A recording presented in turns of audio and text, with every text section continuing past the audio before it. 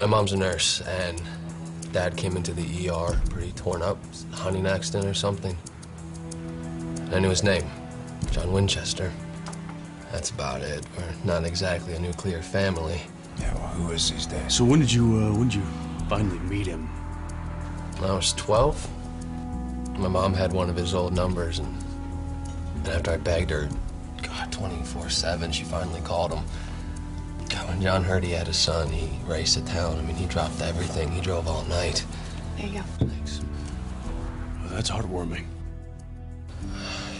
You mind? No, please dig in.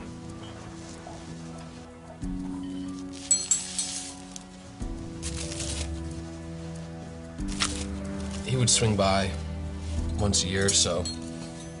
You know, called when he could, but still. He taught me poker and pool and even bought me my first beer when I was 15. And uh, he showed me how to drive. Dad, he had this beautiful 67 Impala. Oh, this is crap. You know what? You're lying.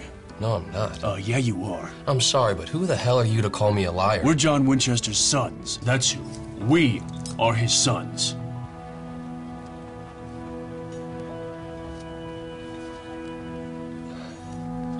I've got brothers. Supernatural. All new this Thursday at 9, 8 central. And for more information, go to CWTV.com.